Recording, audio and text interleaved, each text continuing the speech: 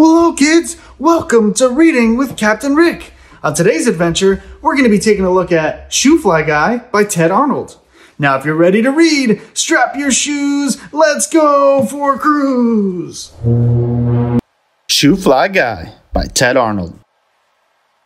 A boy had a pet fly. The boy called this pet Fly Guy. Fly Guy could say the boy's name Buzz. Buzz played with Fly Guy. Buzz made him a glass house. Best of all, Buzz fed him. Fly Guy's favorite food was brown, oozy, lumpy, and smelly. One day, Fly Guy went flying by himself. When he came home, Buzz was gone. Fly Guy was so hungry, so off he flew. Fly Guy flew until he saw something to eat. It wasn't oozy, lumpy, or smelly but it was brown. Close enough.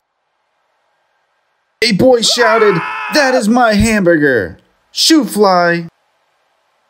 Fly Guy flew on until he saw something else. It wasn't brown, lumpy, or smelly, but it was oozy. Close enough. A girl yelled, That is my pizza! Shoo fly! Fly Guy flew on until he saw something else. It wasn't brown, oozy, or smelly, but it was lumpy. Close enough. A dog growled, Those are my bones. Shoo fly. Fly Guy flew on until he saw something else. It wasn't brown, oozy, or lumpy, but it was smelly. Close enough. A bird squawked, That is my roadkill. Shoo fly. Fly Guy was very hungry, and he was very tired. He looked around. Fly Guy was very lost.